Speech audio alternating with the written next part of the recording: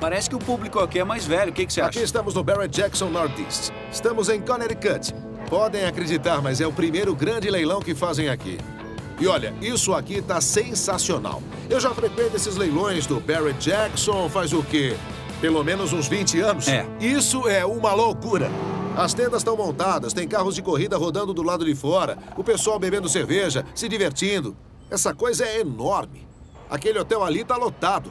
Tem mais gente aqui do que dá pra contar. É bom que tenham dinheiro, eu tô precisando de grana. O GT deve render uma boa grana, mas eu não tenho muita saída. Seja qual for o lance, eu acho que eu vou ter que vender. Vocês me conhecem, perdendo ou ganhando vai ser uma festa. Por isso eu trouxe comigo meus amigos Prashant e Big O Grease. que, que você acha do Zephyr? Sei lá, é um carro meio esquisito, né? Ele é um carro legal, mas não é o meu carro favorito.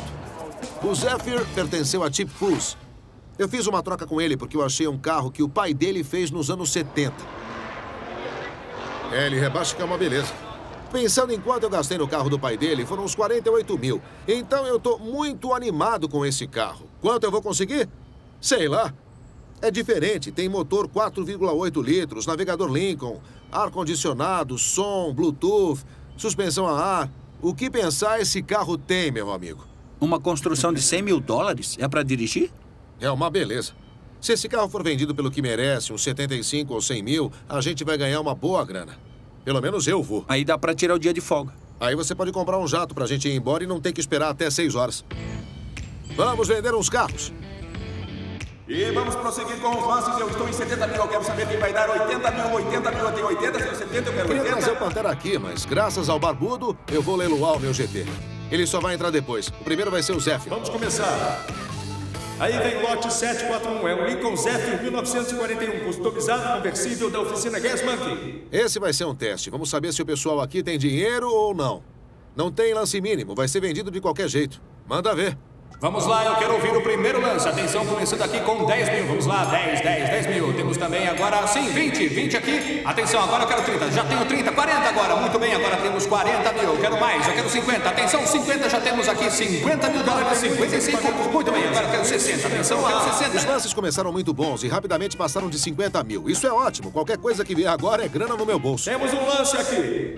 Muito bem, já tenho 60 mil. Eu quero mais, eu quero mais, eu quero mais que 60. Atenção, atenção, quero ver 62 mil. Isso, muito bem. Eu quero mais, eu quero mais. Atenção, alguém dá mais, alguém dá mais. Vendido por 62 mil dólares.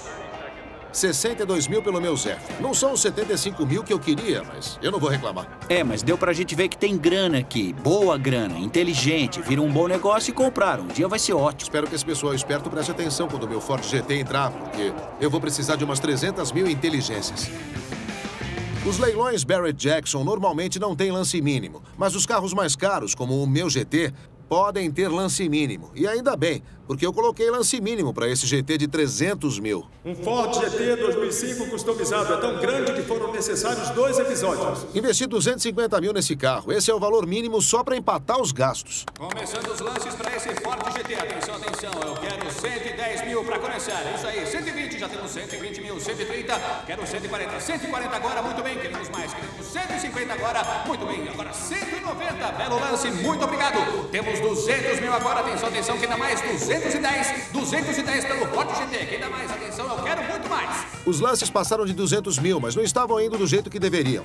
Suspendi o lance mínimo para dar uma animada nos lances e agora eu tô suando Muito frio. bem, você pode ser o novo dono desse Ford GT 2005. Atenção, tem 230. Quem dá mais? Quem dá mais? Eu quero muito mais que 230. Será, será, será que vai parar? Vendido por 230 Uau. mil dólares. Muito obrigado. É isso aí, mandou bem. Pela compra. Lote número 644 é um Pontiac GTO Ramer 2960. Acabei de vender meu carro, eu não tô de bom humor, não. Tudo bem. Droga! Não esquenta. Paciência. Ele suspendeu o lance mínimo, que era 230. Eu não achei errado. Tinha três caras dando lances. Eu tava falando com um deles. Eu achei uma boa ideia. Achei que o carro ia chegar a 270, 280.